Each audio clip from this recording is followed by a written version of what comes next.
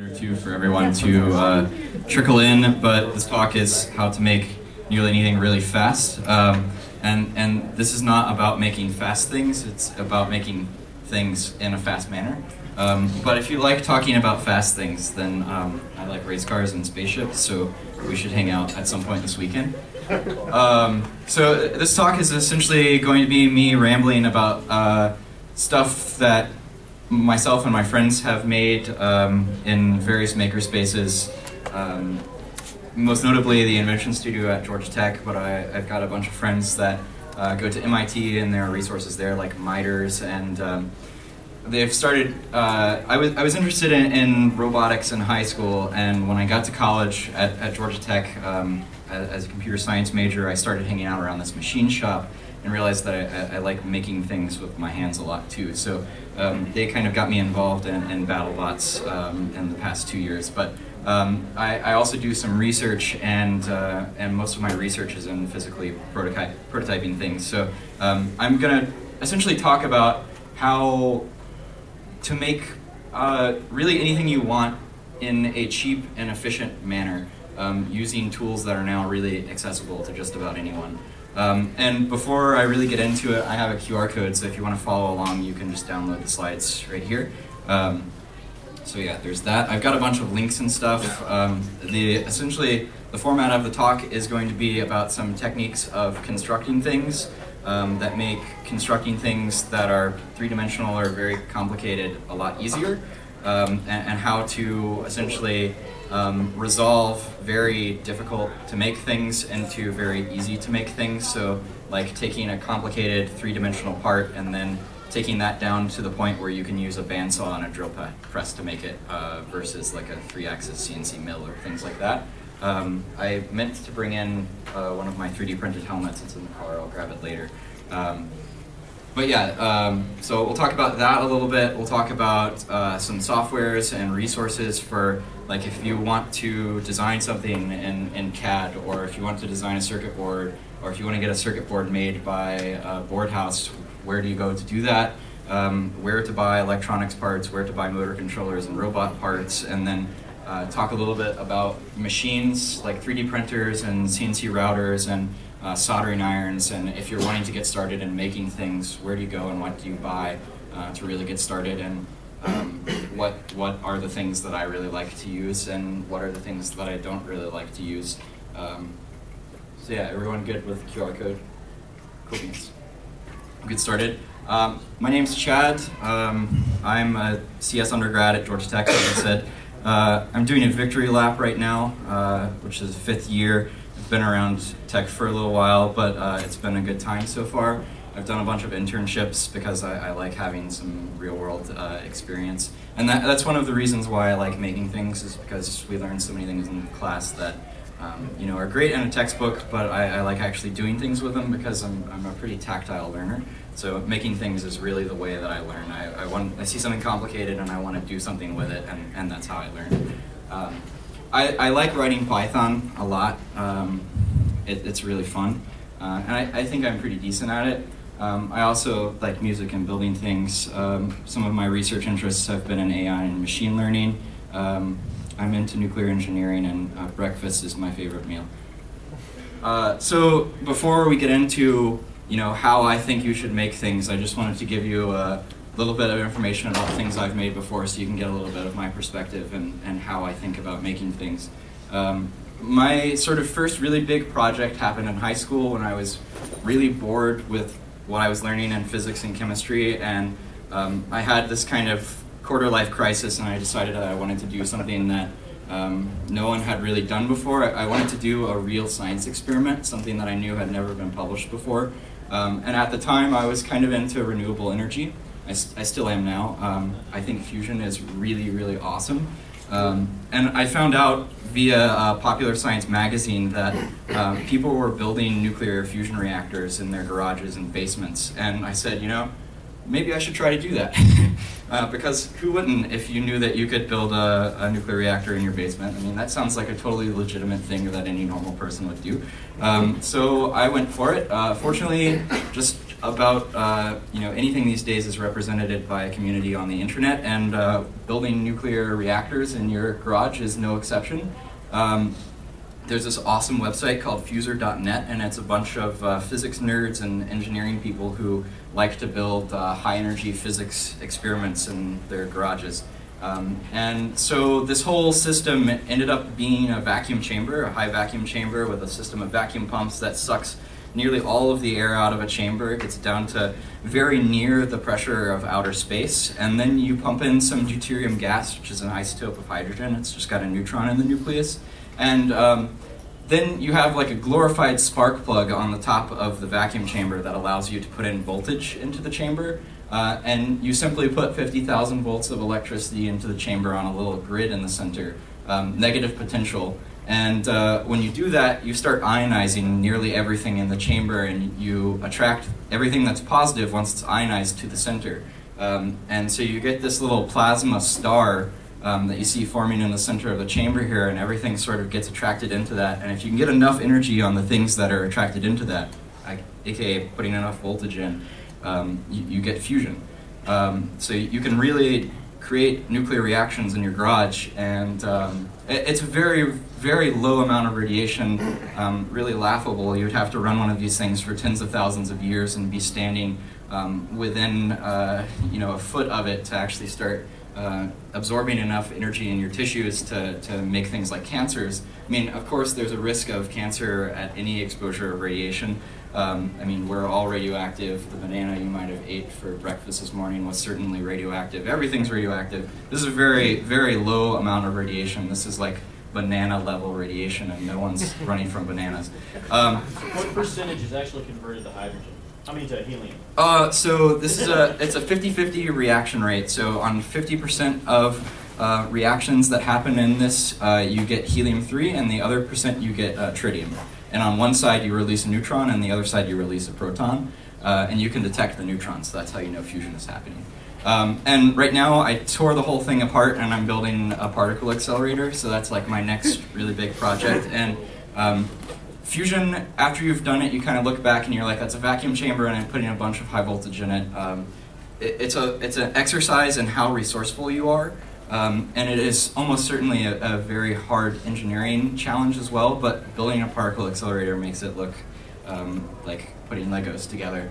So I'm, I'm, trying to build a cyclotron, which involves making an MRI strength uh, magnetic field and then putting a vacuum chamber in between them and doing all sorts of witchcraft with uh, radio frequency switching uh, potentials. And if you're interested in that, let me know. But that's not the focus of this talk. So moving on, um, I've done mechanical things too. Uh, very recently, I've become interested in BattleBots. Uh, the bot here on the left is called Atomic Puppy.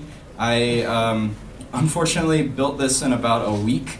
Um, I was interning at the time, and the place I was interning had this really nice uh, hackerspace on campus that they would let you use. So I pulled 18-hour uh, days at work for a week and uh, worked for the allotted time that I was supposed to work and then spent 10 hours uh, building a robot. And they had this little CNC routing machine that I was able to make all of this out of. Uh, it's 3D printed out of ABS, the little clamps and wheels. And then the main body frame is made out of aluminum rods that I ordered from McMaster-Carr, and then the black pieces are uh, high density polyethylene, which is a super impact resistant material that's actually really easy to work with. So it's a great candidate for BattleBots. This is a three pound BattleBot. Um, and it, it, was pretty fun. It was a good experience. Um, the thing on the right is a little uh, electric go-kart that I made. They're kind of, um, the MIT crowd builds silly go-karts uh, all the time, and they call them chibi carts. And this is a southern fried chibi uh, because we built it at, at Georgia Tech and we're in the South and MIT is not in the South. But so, so th Southern Fried, um, and this is some child at uh, Atlanta Maker Faire that was riding it, holding a laser cut banjo. Uh, it, it, was pretty fun. So it's got uh, three-phase brushless motors, uh, similar to what Tesla uses in their like Model S's, but uh, on a much smaller scale. Um, and lithium polymer batteries. You get into all sorts of really fun technologies that are being used in um, large scale electric vehicles on a smaller scale. And, and uh, once you sort of get familiar with this uh, electric vehicle workflow, you kind of, uh, it, it's like an addiction. You want to put like a motor on everything because you can go buy a three-phase brushless motor that's like 1.5 horsepower for about 100 bucks, and then you buy a controller for like 50 bucks, and then some batteries for 60 bucks, and you know for about 300 dollars altogether, you have like a really silly electric scooter or small bike or something like that that you can ride around campus, and it's it's pretty hilarious. And the torque that these things have are just scary. I, I built an electric longboard over the summer, and originally it was rear-wheel drive, but the way the motor's torqued, it would torque the board up. So you could throw yourself off the board with how much torque the motors had. So we had to turn it around and make it front-wheel drive so it torqued down instead of up and didn't throw you off. Um, so always build brakes into your electric vehicle. Uh, lesson learned the hard way there. Some things you just don't want to prototype rapidly. Brakes, one of those things. Uh, so rapid prototyping in general is this terminology that's sort of uh, developed over maybe like the last 20 or 30 years as electronics and mechanical and linear motion components have become more ubiquitous and really cheap, um, which have unveiled a, a new way of using uh, computers to make the entire prototyping process quicker. Since we have smart machines now that allow um, you know to really hard tasks to become super easy, like 3D printing something, you can spend most of your time focusing on designing the actual part and then using the computer smart uh, tool to sort of do the rest.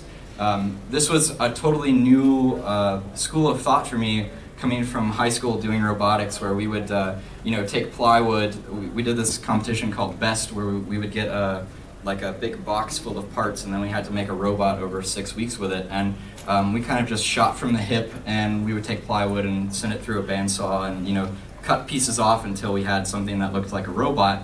Then I got to Georgia Tech and met a lot of people who were sitting down on their computer for like two weeks designing a model in a CAD software like SolidWorks, which allows you to do uh, three-dimensional parametric drawing. So you can build your entire thing in the computer, you know, put it together as an assembly, uh, mock up the bolts and screws and see how everything's gonna fit together, put your motors in, do stress analysis on how all the parts are gonna move around. They would spend maybe 80% of the time doing this on the computer, press a button, have their materials list generated for them, send that to McMaster-Carr and an electronic supply warehouse, get all the packages back, and then build the robot in a day because all of the hard stuff, the design was already done.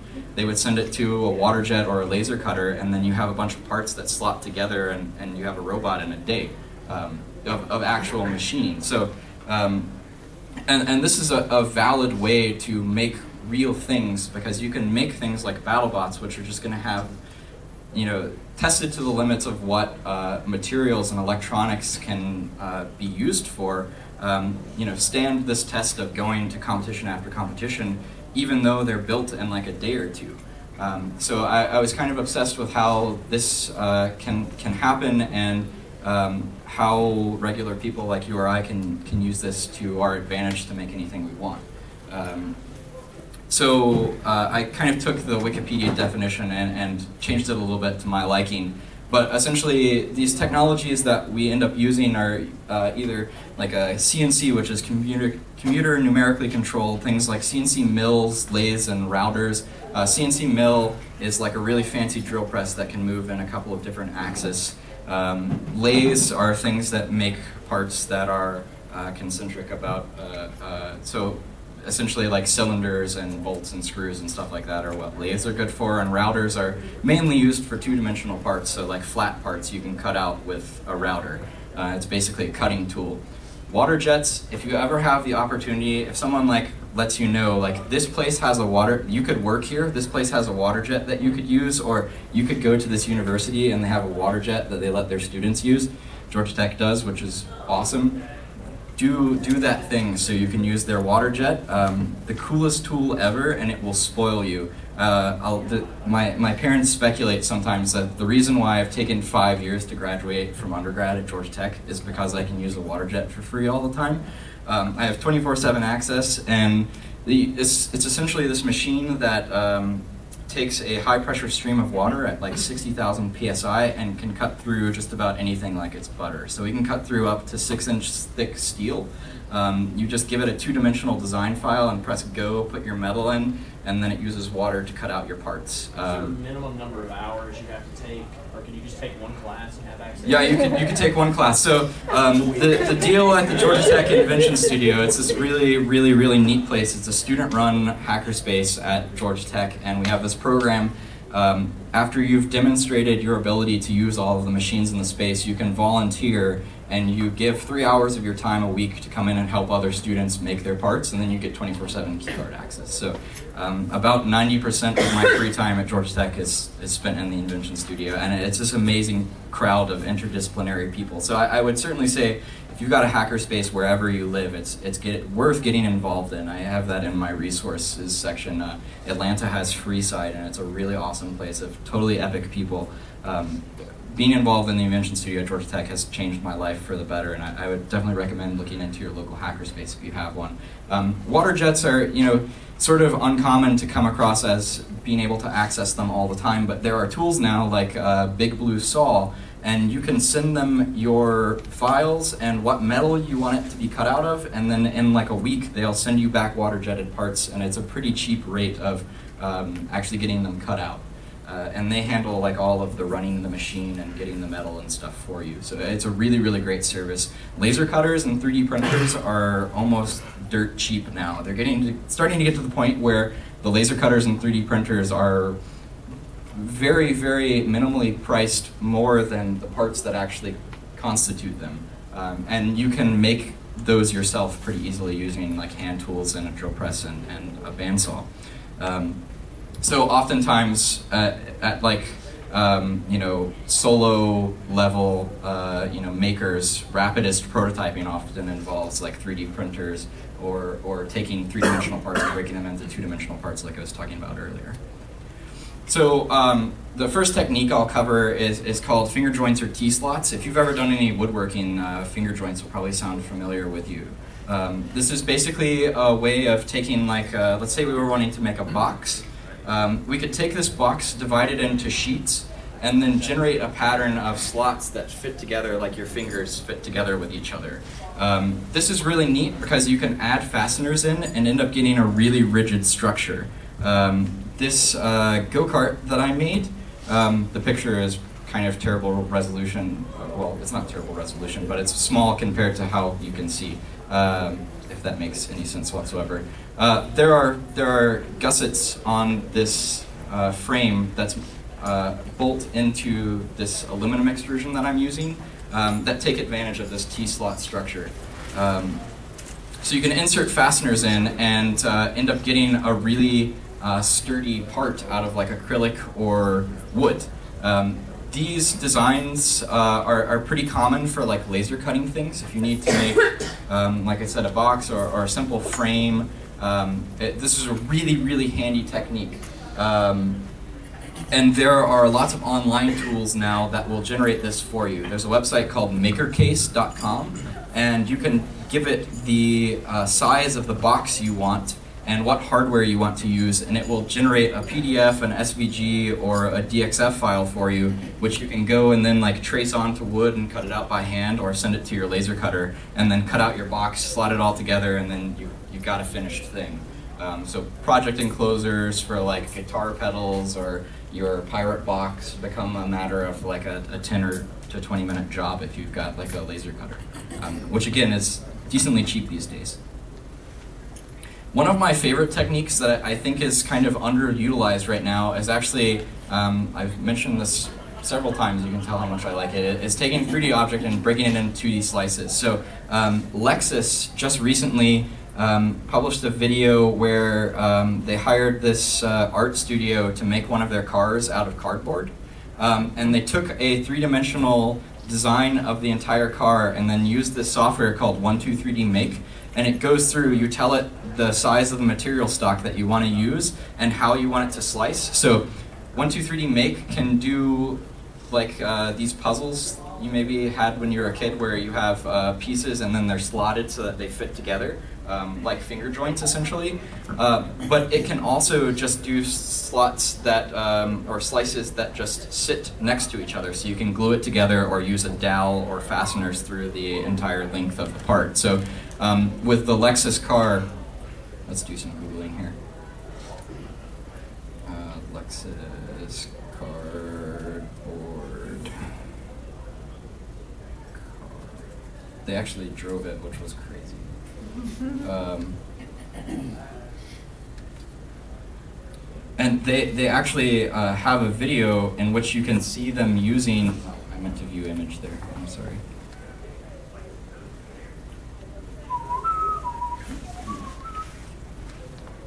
Okay, so here you can see that they've, they've stacked slices um, to form the entire body of the car. Um, so you can, using this technique, you can envision making just about any shape you want.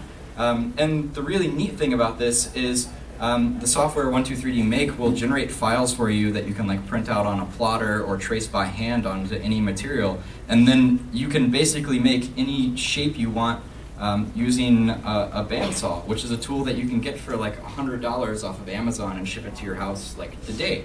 Um, and that's a really empowering thought to me. You could make this out of MDF or plywood and then sand it and have really smooth edges.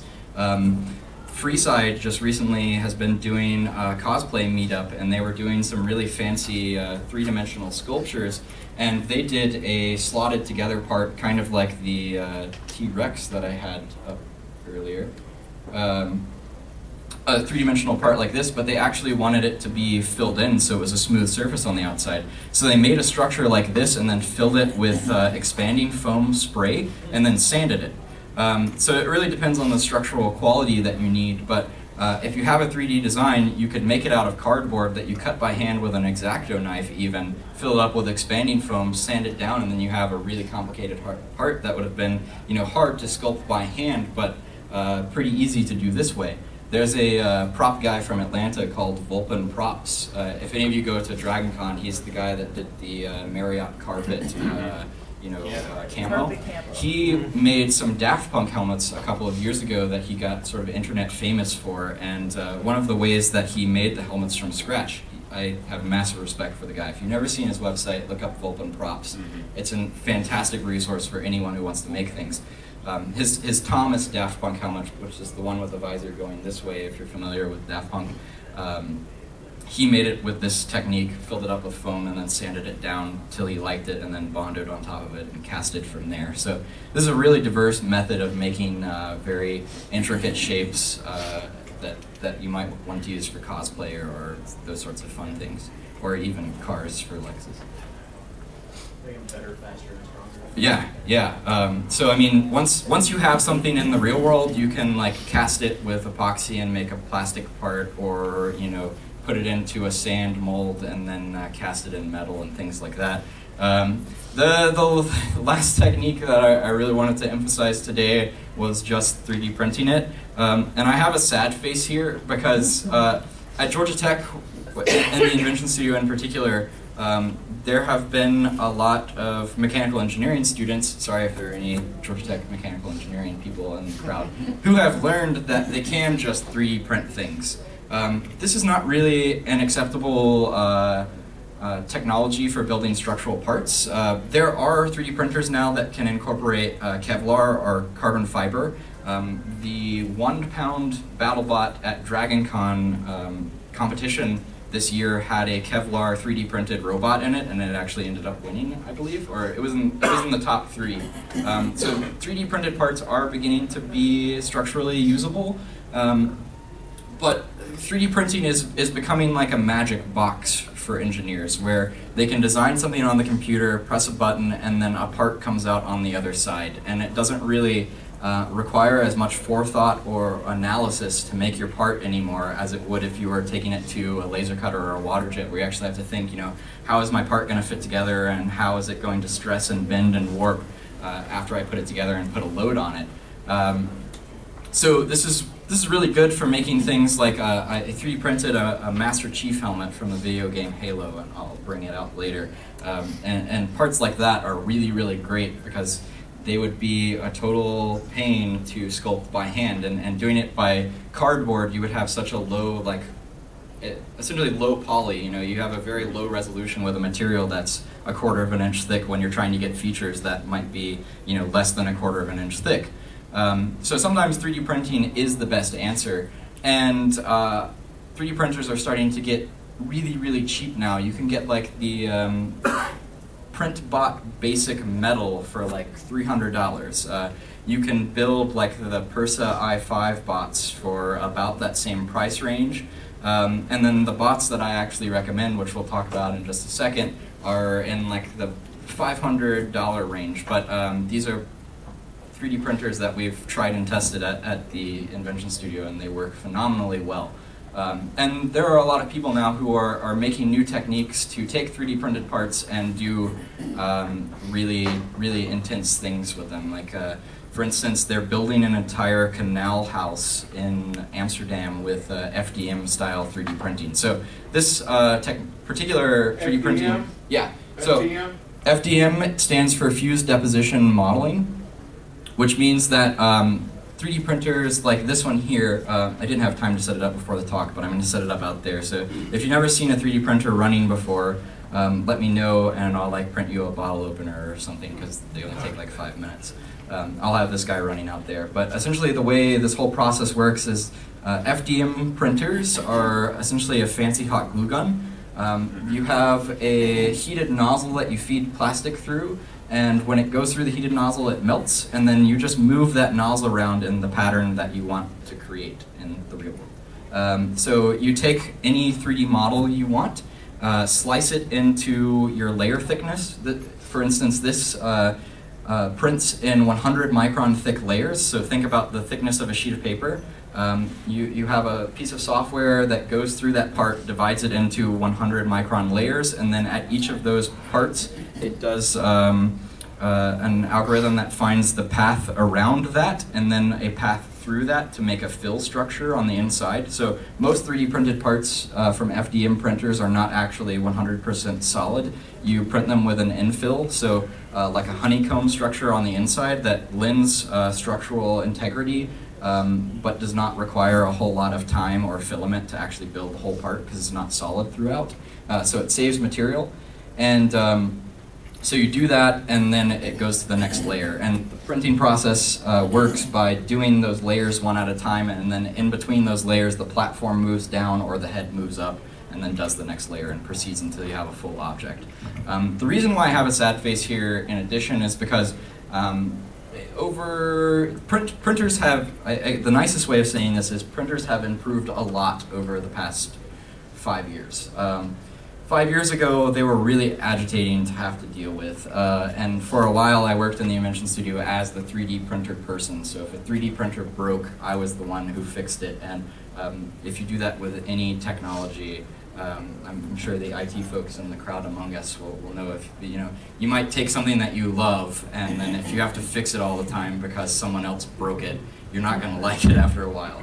Um, when they work though, they can be your greatest friend. Uh, it, it's a really cool experience to be able to like need something, have an idea in your hand, head, design it, and then press a button and then have it print while you're sleeping and then wake up in the morning and have like your physical part. So that's, that's a pretty cool experience that I like.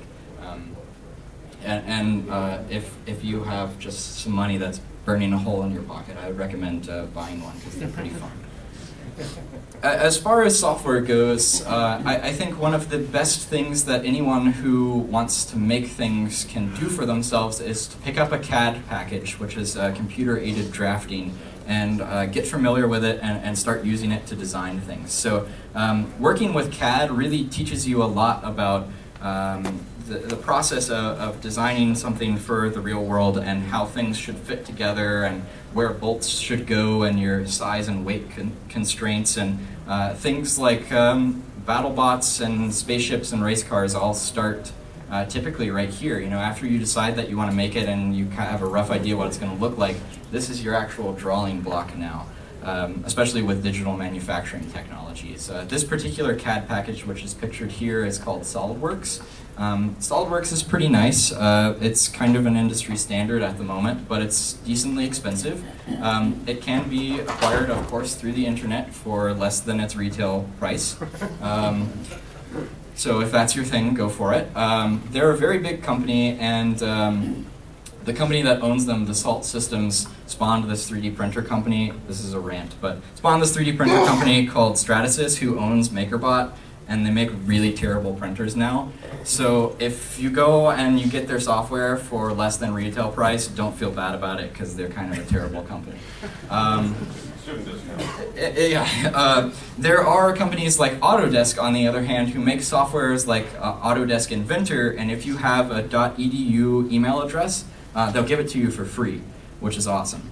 Um, they also have many versions of their products that are just free. Yeah. Solid Yes, there's also Solid Edge, um, Pro Engineer slash Creo. Um, this is what uh, NASA uses for most of their stuff. It's also pretty similar to SolidWorks and, and uh, Autodesk, and it can uh, you can find like trial versions of that that are used for non-commercial version of, of things that you want to make. And um, last time I checked, I thought I think that was free, but I'm not sure. Yeah. If you're a programmer, OpenSCAD yeah, yeah. So OpenSCAD is great. Um, I've seen it kind of widely adopted in the 3D printing sphere, um, and there are really great tutorials for that. Um, and if you've never gotten started with CAD, the thing that I really like about SolidWorks, um, because Georgia Tech gives all of their students a license, I'm going to have to figure out what I'm going to do when I graduate because I won't have it anymore. But um, they have a really nice suite of tutorials. Um, that they've actually published on YouTube now. So if you end up do getting a copy of SolidWorks, um, they have tutorials that will take you from no CAD knowledge at all to making really, really complicated parts. Um, as for uh, electrical design goes, um, there are softwares like KiCad, which run in uh, Linux. Uh, it's a free open source CAD software for designing circuits. Uh, it also has a huge community around it. Um, you can basically go from uh, having nothing to building a full circuit board um, in, in KiCad from, from you know, bottom up, um, which is really, really, really neat. Uh, you can build like four layer boards with uh, ball grid array chips and uh, you know, make really fancy stuff in, in KiCad. And Eagle is kind of its uh, in, industrial uh, brother, I guess. Eagle is really nice because they give you a uh, free version of their software that will do up to four inch by four inch boards. Um, and this is a pretty industry standard software. Uh, Altium is another electrical CAD software that uh, is very, very expensive, and I personally think Eagle and KiCad can do most of, as far as circuit design is concerned, uh, can sort of compete with Altium decently well. Altium does some neat testing things, but if you wanted to go and design a circuit board today, you could pick up KiCad or Eagle and actually do it. Um, the thing that's also nice about Eagle is SparkFun has a series of really, really great tutorials where they will take you from zero circuit design knowledge at all to how to design. I, I think they have a tutorial on an FD, FTDI programmer chip, so you make a, a circuit board that allows you to do USB to serial uh, for like programming microcontrollers and stuff like that. Um, so they, they teach you to make interesting stuff, um, and they have like their own library of parts that you can use. So uh, SparkFun is really, really nice to the community with their tutorials. if you've never checked those out before, definitely do that as well. Um, 123D Make is made by Autodesk. Um, like I said, it's a super, super handy thing, especially if you uh, don't have a laser cutter or water jet, you know, fancy tools like that. Um, 123D Make, I mean, you can take any 3D object, slice it in, and then um, make it with a bandsaw and a drill press. Um, then as far as CNC machining goes, I, I, figured there wasn't going to be too much of a crowd that was interested in like CNC milling. Um, but the thing with, uh, once you get into like CNC milling, you have to have a step between your actual uh, CAD and the machine itself. You have to program it into the language that the machine speaks for how it should move. The G code. Yeah, the G code, the, the code for the, for the G's. Um, and uh, for that, you needed you need uh, computer aided manufacturing. Yeah. Is that because different CNCs have a different number of axes? And yeah, yeah, yeah. For that number of axes. Yeah, yeah. So um, each machine uh, or each brand has its own like uh, standard for how it talks and uh, you know how it references particular tools and how its accelerations work while it's you know machining on a certain axis and how many axes it has. Uh, the list goes on and on and on.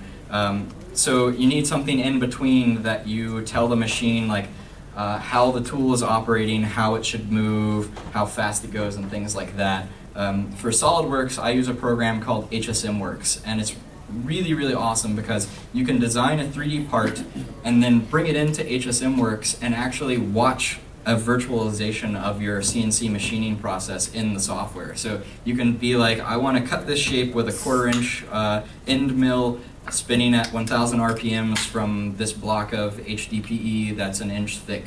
Um, and it will actually go through and you can watch it do its thing um, and get an idea of what the actual machine is going to do. HSMWorks uh, is now owned by Autodesk and you can plug it into Inventor or SolidWorks uh, and they have a version of this for two-dimensional uh, CAM. So if you have like a CNC router or you've built a CNC router, um, you can get HSMWorks and uh, they will allow you to do two-axis cutting for free, um, which is a really, really awesome tool. I mean, this is industry standard and everyone is, it's, it's super awesome. Um, so I'm, as far as like construction technologies go, if you're wanting to make mechanical things that you can like sit on and ride, 8020 uh, is really, really awesome. If you've never played with 8020, uh, I'd recommend going to McMaster and buying some and just having fun with it. Uh, it's kind of like a fancy grown-up uh, Erector set. Um, I call it Legos for mechanical engineers because it's this T-slotted aluminum extrusion, so you can slide nuts or bolts into it and then uh, you fasten things to it. Um, so like these chibi carts, this is one of the MIT chibi carts. Um, everything here, they've made some flanges out of aluminum and then just bolted into the frame. So you can like slide a nut into the frame and then it's a captive because it's a T-slot. So you have these two pieces of aluminum that once you slide things into them, they don't pull out. So you can slide them linearly but not uh, in the other axis. Um, so you can bolt things to this and build really neat things. Uh, this is uh, called 80-20 because they say it, it's like 80% uh, of the uh, strength of uh, a, a, regular like solid aluminum extrusion of, of the, the same uh, dimensions at 20% of the weight. So it's also really lightweight. Um, and it does 80% of the work in 20% less time, I think is their other like saying from the company. But McMaster-Carr sells a, their own version of it called T-slotted aluminum extrusion that's much, much cheaper than the like copyrighted version from 8020. Um, and this is good for making things that you can like stand on or ride. Uh, and so uh, one of my like last talking about making slides is uh, about making things smart. Uh, this is something that Apple and, and, Google and like all of the and Microsoft, all, all really uh, big wigs people are starting to do with our smartphones and things that we're wearing, uh, doing gesture recognition and activity recognition. It's something that I've started to play around with a little bit. Um, so if, if you're wanting to build something that you can use to control your lights by moving your hand about or things like that, um, doing gesture recognition is really, really, really neat. It's a way of taking uh, some numbers or sensor inputs and translating those using a pattern recognition or machine learning model into uh, classification as a particular swipe or something like that. Um, and there are two really, really nice tools right now to do this with. Uh, one is called the Gesture Recognition Toolkit. And with GRT, you can actually take an Arduino, um, pipe some data into it, and train various machine learning models, and then tell them classify the data that I give you next, and it will make a, um, usually like a Bayesian model or, or, a decision tree model that you can use to predict, you know, if I made a G in the air um, and did that, you know, 100 times or whatever, trained the model, and then did a G again, it would hopefully tell me you just made a G in the air versus an L or something like that. And then you can translate those inputs into like turning a light on and off or, or things of that nature.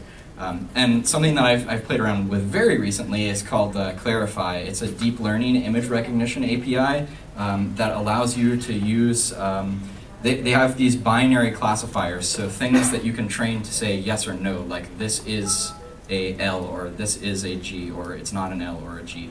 Um, and I, my friend and I built this little lightsaber uh, over the course of a weekend um, we 3D printed the lightsaber and put an Arduino and an IMU on the inside of a lightsaber, and we wanted to try and see if we could use Clarifai to classify time series data. So their API is actually made for like recognizing things and images. Like you give it an image of a cat and it says this is a cat, or um, these are a bunch of happy people or sad people.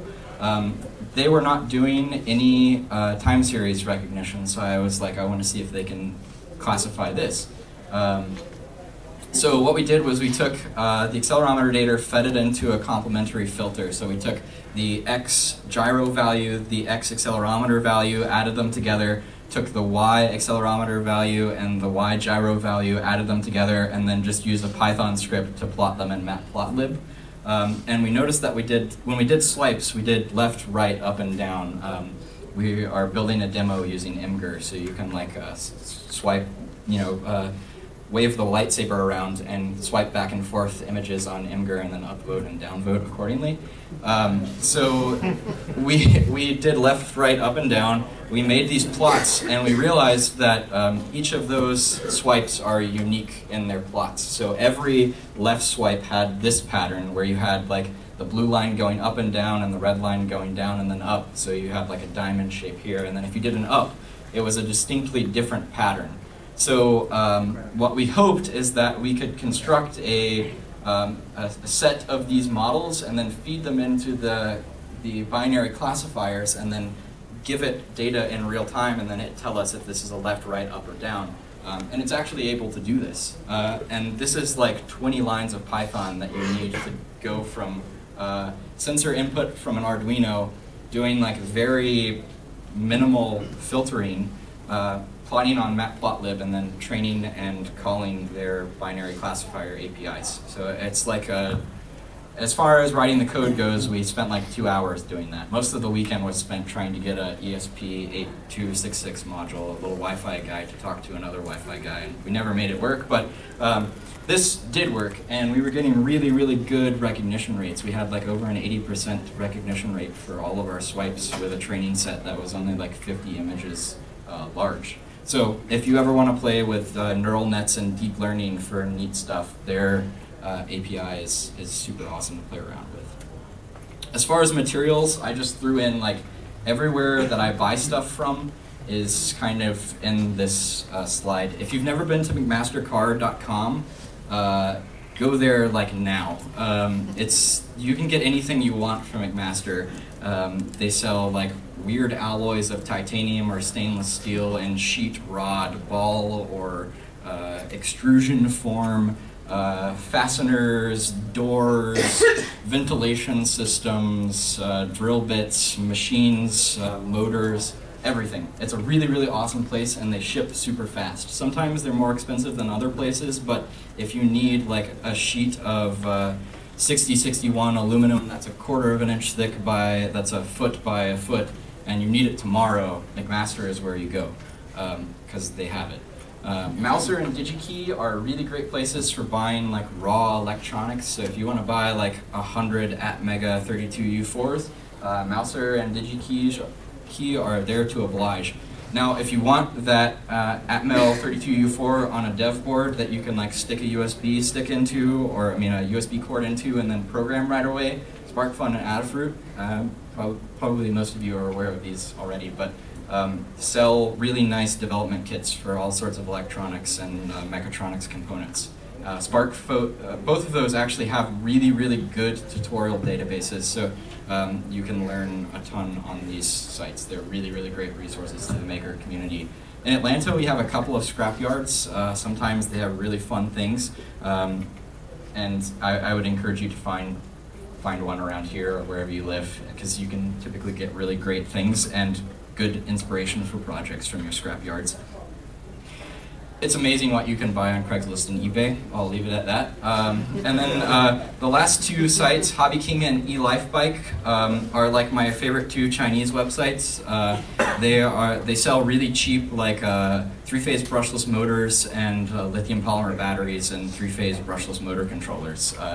Uh, and Hobby King actually sells a lot of RC stuff, but eLifeBikes uh, is a hilarious website that sells like electric bike components from China and uh, their website is pretty hilariously translated, so just reading through the website is really funny. But uh, a ton of my friends and I have ordered stuff from the site, and we always get it. So it's it's pretty reliable, I would say. I don't know if they're like storing all of my information somewhere. They probably are, but um, I get my parts, so I'm happy. Um, I have a couple of slides here for machinery and tools that I recommend. Uh, if you have any specific questions on like if you're considering buying a 3D printer or a soldering iron, um, ask me and I'd be happy to give you my recommendations. Uh, these are things that I work with like every day when I'm building stuff. So I, I, like to think that I've had over a period of time uh, a, a, large database of, or you know, set of experiences and information to make, uh, you know, uh, suggestions about what you should buy and what you shouldn't buy. Um, if you're just interested in getting started in, in, 3D printing, then the Up Mini is like a fantastic 3D printer. They're $600 on Amazon right now, and they go like crazy. You can send them parts 24/7, and they almost never break. The same cannot be said for this guy um, which is made by the evil corporation that I was mentioning earlier. Um, he was actually being thrown away and I rescued him, but um, he's still a pain sometimes. Um, you can also, uh, once you have a 3D printer, you can print other tools like CNC routers. There are now almost entirely 3D printable CNC routers, and then you can use that to make even more serious tools. Uh, so you make a, a 3D printed CNC router and you cut wood with that to make a wood CNC router and then you cut aluminum with your wood CNC router and then you actually have a nice machine. Uh, what and then you just, what an exciting time to be alive, exactly. You are the man. Um, and then you just burn your 3D printed in a wood one. Um, What's the best dual element, uh, affordable 3D printer that you've seen? So, um, there... That doesn't break is uh, yeah. Doesn't exist. Often. Next. Often. um, there is a, a Chinese knockoff of the MakerBots um, called the FlashForges. And um, you can buy their dual extrusion version for like $800. Um, and I think that's like, it's, it's going to break sometimes, but that's like the best price point that you can get it at. And um, there, there was a startup that uh, did a Kickstarter for an extruder that actually took in two colors of filament and then it could swap between them. Um, and I've heard really, really good things about them. Um, unfortunately, not enough good things for me to remember their name, but uh, you could probably look them up on Kickstarter. They were pretty neat. There's also a startup right now that is making this box um, that has an extruder on the inside of it, and you feed it in multiple colors of filament. You send it your sliced multicolor file, and then it extrudes a single filament that has multicolor sections in it, and then it's uh, synced so that when it prints, it's the right color. Um, and that's that's pretty neat, but they're wanting to charge like $2,200 for it, and that's way too expensive. Um, yeah, any more questions? Uh, two questions. Okay, go for it. Questions now. I was yeah. trying to hold back. That's fine. Uh, there was a, you're talking about your 3D printed Master Chief helmet. Yeah. I saw another program that somebody had been using where you could take your regular printer and you do a 3D model and it would take the polygons from the model, mm-hmm. print them out on paper. Yeah, yeah. It would number the edges so you could yeah. tape them together and then spray them with an acrylic and have a plastic part that you had made from paper. Yeah, Pepakura. Is, yeah, That's it's like hugely adopted in, in the cosplay community, and uh, uh, I don't use it because I'm really lazy. Um, but uh, you can there you can actually laser cut Pepakura files too, and I'm really bad at folding things and cutting things in straight lines. Um, but yeah, it's awesome. I'm, I'm wanting to make the rest of my uh, rest of Master Chief's armor, and I'm probably going to do it out of EVA foam with the Pepakura files. But it's super super neat. Yeah. There's another 3D printer I saw just the other day. It's uh, the unit, the printer, the it doesn't print very large items. Yeah. But each one is about the size of uh, like a 20 ounce or a, a one liter Coke and it uses a, a, regular projector like the one you're using right yeah, now for yeah, demonstration to cure everything. Yeah and it brings it from overhead so you can actually have three different pieces put together and the elevator just takes it down while it cures with a regular yeah, so that's a SLA, which is stereolithography. So you have a mm-hmm. photopolymer resin and then a, a, source of light that is of the wavelength that cures that photopolymer resin. So you project a light onto that and then it cures. And those are starting to get really, really cheap too. There are some that are sub $100, but the photopolymer resins are really, really nasty chemicals sometimes, and uh, uh, oftentimes those will degrade over time, but it, it, really depends what you're looking for in a printer, and sometimes that's that's all you need. Yeah. Anything else? You have experience with the like three, four hundred dollar laser cutters that I see on eBay? No, but I've wanted to buy one, and probably when I graduate, I'm going to. Um, You buy uh, one first, okay? So I, I've been to several hackerspaces that have like uh, the really cheap eBay uh, RXTX and Houston, Texas had a really cheap one um, Yeah. that I used. I don't know if it was that cheap, but um, all of the drivers and software for it were super sketchy. But as far as the laser itself goes, I mean, glass CO2 laser tubes are pretty standard technology, and all the linear motion components are, are there too. I mean, if if you look at pictures and it looks like it has stepper motors and you know Acme threads and things like that, um, you can write your own drivers and softwares for it or use someone else's pretty easily. So um, as long as it has a decent laser tube, I, it's probably a good thing to, to, to buy. But um, the Freeside guys have a, a decently cheapish laser that, Yeah, they could probably get. We, we made ours for like sixteen hundred dollars. Uh, it was off of Chinese. Uh, no, no, it wasn't. Excuse me. It was off of. Uh, it was uh, off of a website that we had that had like uh, some source stuff. Anyway, fly by optic system. It uses um, uses a couple of mirrors to aim where the laser goes. You can actually do DIY laser mirrors off of hard drive reader heads, and they're reflectable. Enough. Just don't touch them, basically. Yeah. And then it's just carriage motor. So, and you Yeah. can actually use 80. We use 80-20 for ours for the for our Yeah. motors. So you make the frame out of 8020. You can make CNC router frames out of 8020. Um, it's a really, really, really, really great stuff. Yeah. Any more questions? Yeah. Are you a wizard? No. Warlock? Maybe. Jedi. I'll consider myself a wizard when I figure out RF power systems. Because That's that's cool. that's that's that's magic. That's that's that's magic. So once I get the cyclotron built, then maybe I'll like put wizard on my business cards. I'll put it on your business card. Thank you. So uh, thanks everyone for coming. I, I think we're out of time. Um, I'll be around all weekend. If you want me to 3D print something for you, let me know. I'll have it set out somewhere over here. If you want to talk about making things or race cars or spaceships, I'm your guy. Um, nice to meet you. I'm Chad. Thanks for coming.